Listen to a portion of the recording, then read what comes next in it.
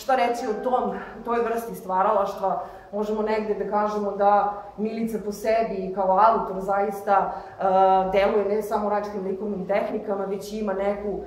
više dimenzionalnost u svom promišljanju, razmišljanju, stvaranju, kolažiranju nekakve stvarnosti i realnosti. Mi možemo negde da to posmatramo kao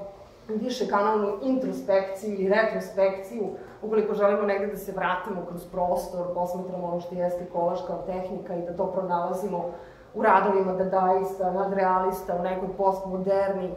koja se zasniva i bazira na nekom citatu, citatnosti onoga, onoga što je već bilo viđeno, prošlo e, i proživljeno.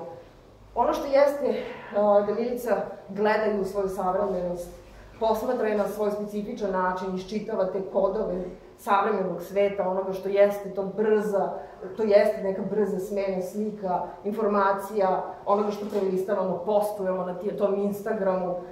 svega onoga što nas okružuje nas samih, slike nas samih, neke stvarnosti koju mi vidimo, doživljavamo, kao tako prezentujemo pokušavamo da razumemo. I sad možemo da i postavimo pitanja kakva je ta naša stvarnost, ko je emituje, ko je proizvodi. Na kraju krajeva želim da vas pozovem zaista i da počnete da iščitavate, da negde blizu dođete, kao što da se pozivaju sami, e, sami ovi radovi i sami kolaži, tim sitnim, finim, preciznim detaljima kojima se Milica bavi, koje ona pronalazi u tom nekakvom skladištu slika koje već postoje, koje su već proizvedene, ako već govorimo o fotografiji, o toj e,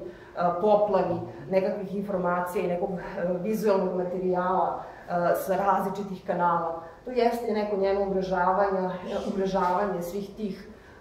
slika koje ona pronalazi, kažem, i u štampanim medijima i onoga što jeste nekakva informacija koja nam dolazi sa društvenih mreža, koje su nam i tekako bliske i koje jesu neki stvarovci, neke nove naše, naše stvarnosti.